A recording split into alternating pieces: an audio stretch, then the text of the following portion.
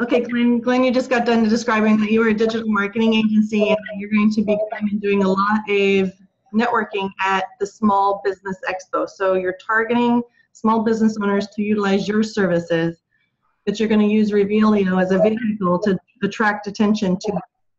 Am I correct in that? To that, yes, and to uh, sign up affiliates uh, under me in these different areas. Yeah. Okay, so are you going to be having a booth or are you going to be roaming? Roaming. Okay, roaming. I've done this myself many a time, so um, it is it is an, a unique situation because at these events they actually tell you that you are not allowed to pitch to the vendors. Did you know that? Uh, I haven't heard that. No. Yeah, when I went to this last one in San Francisco, there were signs all over the place saying, "Do not pitch to the vendors." The vendors have paid. Huh? You can only be pitched to by the vendors. The the vendors paid money to be there so that they can pitch to you. Right. However, there's nothing that can is said that you can't go up there to establish a relationship with them. Okay. Now, um, when you when you go and you approach certain vendors if you're going to approach say an accounting company they provide accounting services then my recommendation would be that you you ask them you know more about what they do and how they can help you. And then you just say okay. And they'll they'll sometimes ask you well what is it that you do you would always obviously want to cater your conversation to be how your services may indeed be able to benefit them as well.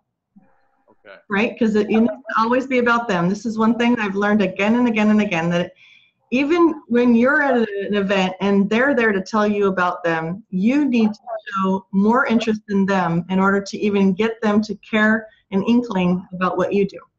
Because they've paid money to be there, and that business expo is not cheap and not cheap at all. So you want to validate them and what they offer. And then if they say, well, what do you do? And you say, oh, well, I provide digital marketing services, you know, so like with a company like yours, what we could do is you know, take you, you know, our, our, we have other, especially if you have other accounting services that you've done work for, you could just say, yeah, some of our accounting clients that we've done work for, we've taken them from blah, blah, blah sales to blah, blah, blah sales in a certain amount of time. And, um, you know, we're very, uh, you know, you, you see a little bit more about the value that you're able to bring that makes them feel warm and fuzzy inside. Like, oh, well, that's really good to know because they may already have a digital marketing company. And you could just say, but one of the things that I've just you know learned about and I'm utilizing now to help people you know see quickly the value that I'm able to bring is this and then you just wave your phone in front of your card and that is the moment that they're going to be like whoa dude wow okay wow that is cool. Then they're going to say i've never seen anything like that before. And you would say at that point well this is an amazing new tool. I'm noticing that it's like magic. It just, you know, just snap your fingers, people want it, want it. I can get this for you. Would you be interested? And they'll say yes, yes, yes, but there at that table is not the time to make all that happen. You make sure you get their information and then you write their the, the little note on there saying that they're interested in this as a service. You pitch it to them later. Later. Pitch it to them as a service pitch it and then then say are you looking for a digital marketing agency? You can use Revealio as your venue in because Revealio is the uniqueness right? That you have i don't know what digital marketing uniqueness you have but Revealio can be your gateway into a deeper conversation about your services.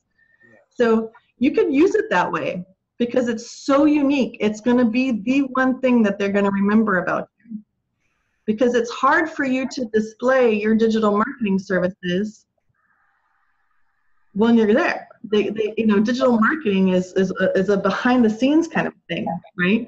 So it's a good thing for you to be able to have this powerful like draw. It's like a magnetic draw, and then use that as a an inlet to have a deeper conversation and your follow up. That's just my recommendation.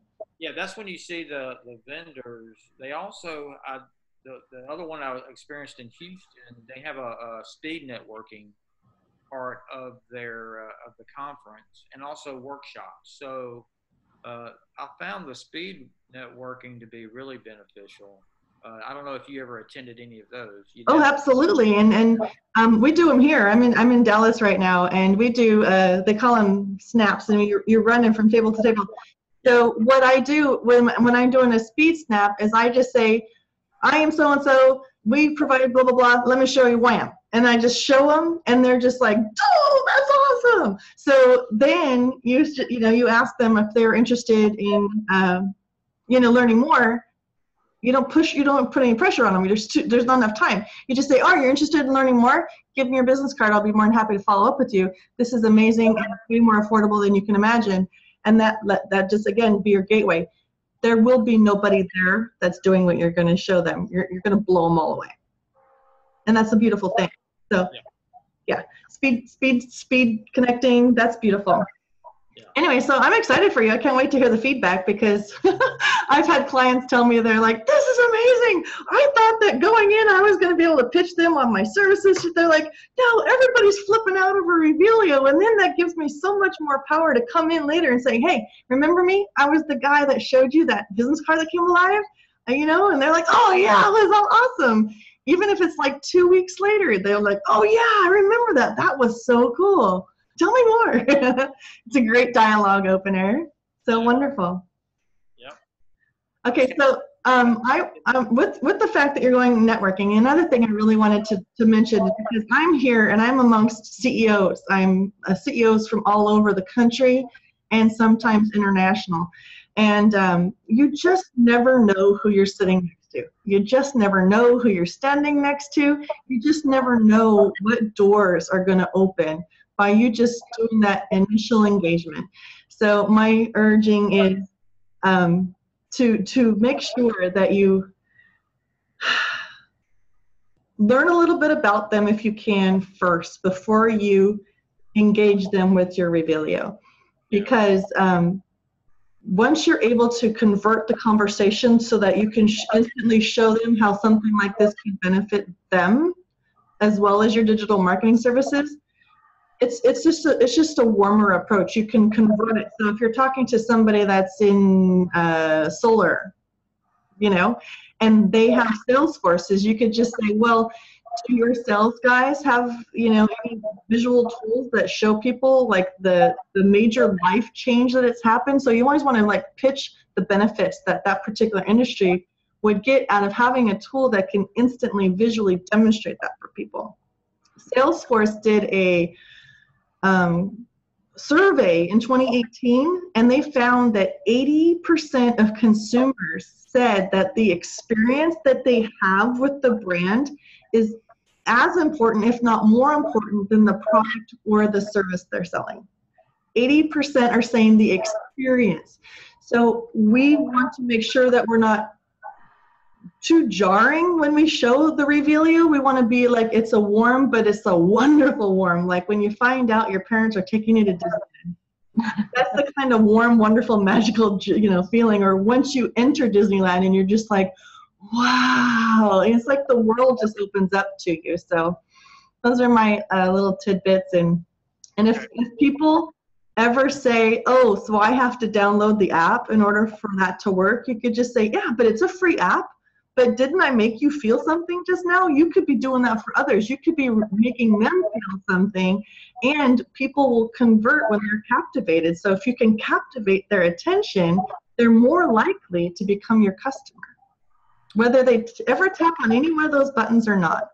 Let me, that just brought up an interesting point. Is there a way to put a symbol on the on my business card that they can just uh, scan to take them to the app?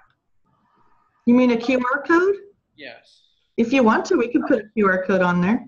I'll think about that. That's make would make it a lot easier for them to download the app. That's you know, that's a personal preference because some people would be like, well, how do I get the QR code to work? They still have to open a QR code reader.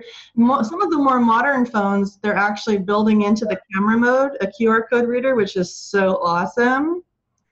But it's just as easy, in my opinion, to, to help somebody right then and there to go to their app store and type in the word reveal io and then just download it Okay. Okay.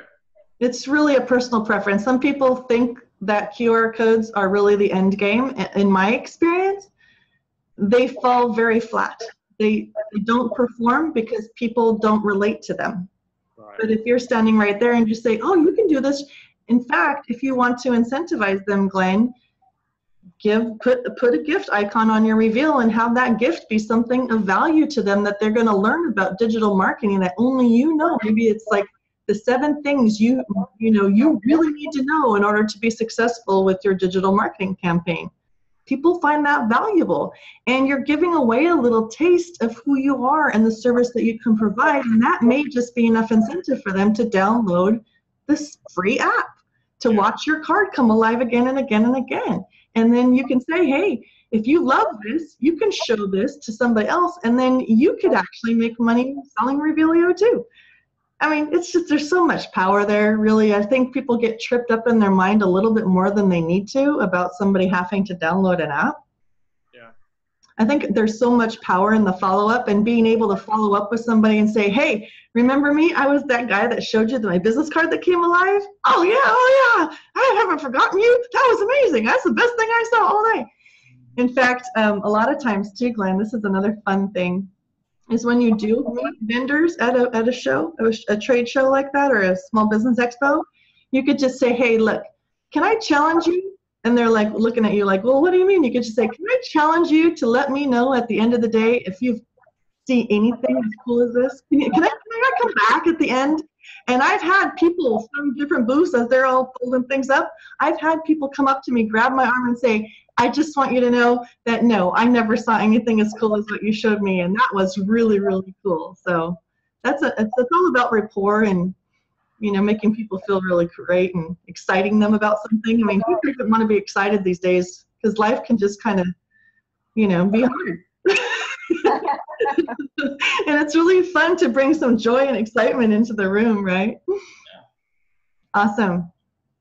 All right. Well, um, if there's nothing more, I'll let you go. But this is a good one. Just focus on, um, you know, just being a, a warm, welcoming person and not regurgitating who you are. I think that's mostly offensive. People are so tired of that that in the networking scene. You be personable and then dazzle the socks off of them. awesome. All right. Thank you. Thank you. All right, you you have a good one, and uh, hopefully we'll get your reveal set up like lickety split, and you can be off and running and making Yeah. impressions. All right, have a good one. You too. All right. Bye. Bye.